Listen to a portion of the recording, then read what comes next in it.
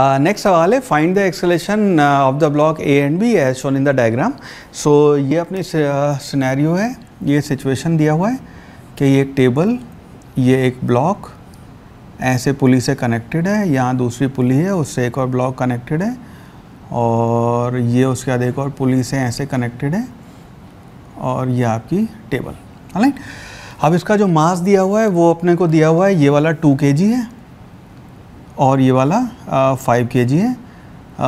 Let's call this mass M one let's call this mass M two हमें इन दोनों का एक्सलेशन क्या होगा ये बताना है। सो लेटर से इसका एक्सलेशन ए वन है, इसका एक्सलेशन आपका ए टू डाउनवर्ड्स है। रस्सी में यहाँ टेंशन टी टी टी इधर होएगी, यहाँ पे आपकी टेंशन टू टी होएगी, ठीक है?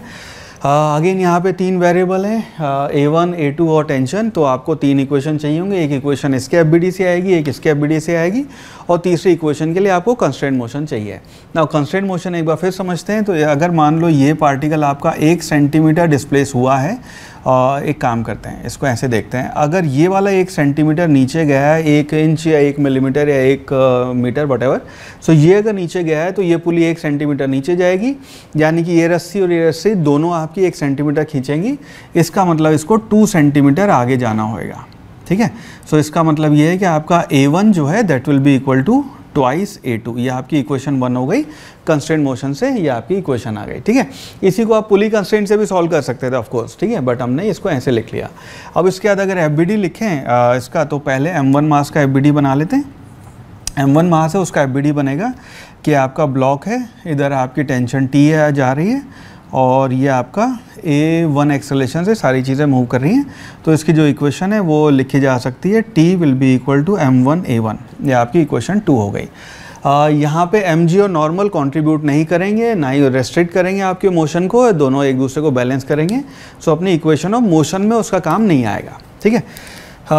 सिमिलरली आप अगर एम टू ब्लॉक का एफ़ बी डी बनाएँ इसका एफ़ बी डी बनेगा कि नीचे तो आपका फोर्स लगा एम टू जी ऊपर आपकी टू टी टेंशन आई और ये आपका ए टू एक्सलेशन है तो इसकी इक्वेशन बन जाएगी M two G minus two T will be equal to M two A two ना यहाँ से अगर हम ए वन की वैल्यू यहाँ इंसर्ट कर दें सो ये आपकी इक्वेशन है, ये बन जाएगी T is equal to twice M one A two let's call this equation number two और ये हो गई इक्वेशन नंबर थ्री अब इसमें अगर हम ट्वाइस ए टू आया। नाउ अब अगर हम करें इसको ट्वाइस करके इसमें ऐड कर दें या फिर ऐसा कहें कि टी की वैल्यू यहाँ पे इंसर्ट कर दें let's say that so T की वैल्यू यहाँ पे इंसर्ट करेंगे। सो so, ये आपका इक्वेशन बन गई।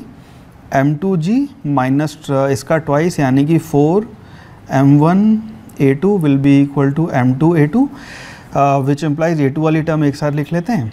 तो ये हो जाएगा M two G will be equal to M two plus four M one multiplied by A two इसका मतलब ये है कि आपका ए टू जो है uh, इस वाले का एक्सलेशन वो आ गया M two divided by M two plus four M one G value यहाँ पे रख देते हैं ये पाँच किलो है ये दो किलो है। सो एम टू है अपना five so this A two will be equal to five plus five plus four multiplied by two G ये नीचे बना फोर टू जा eight plus five is thirteen so A two आ गया five by thirteen G downwards और आपका ए one जो है uh, इस इक्वेशन से ये बन जाएगा ten by thirteen G right hand side पे ठीक है? सो so, ये आपकी एक्सेलेशन की वैल्यूज़ हो जाएँगी।